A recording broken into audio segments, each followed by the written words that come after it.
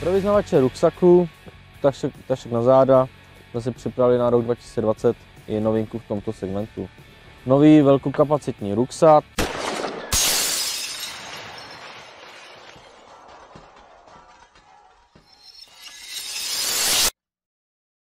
ruksak Karpat, který má velkoobjemovou kapsu,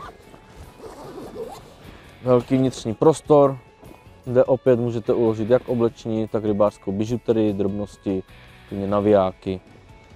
Baťoch je vybaven dvěma velkými bočními kapsami, které také pojmou spoustu, spoustu drobností, bižuterky, další menší taškoviny. Zde si můžete dát například pouzdra na návazce, na nějakou lehčí bižuterku, samozřejmě olova, který dal do spodu baťohu. A dále je tady ještě menší kapsa dole. Ta je třeba vhodná na doklady nebo na osobní hygienu. I baťoch je vybaven nepromakovou spodní částí, takže zase není problém, když ho položíte někam do mokra, do mokré trávy nebo do nějakého bláta.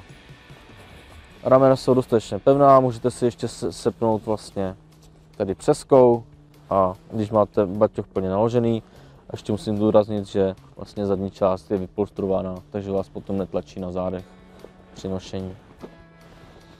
Takže to je baťoch Delfin Karpat.